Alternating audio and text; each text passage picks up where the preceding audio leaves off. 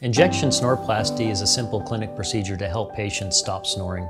Many patients have snoring that bothers their significant other, and as long as you don't have sleep apnea, an injection snoreplasty is very effective at resolving the snoring. Injection snoreplasty is typically done in the clinic. It takes about five minutes and has minimal recovery, maybe a mild sore throat for a week, and within two or three months, the majority of the snoring is resolved. If you're experiencing any snoring related problems, we'd be happy to see you at Capital Otolaryngology, evaluate you, and get you some help.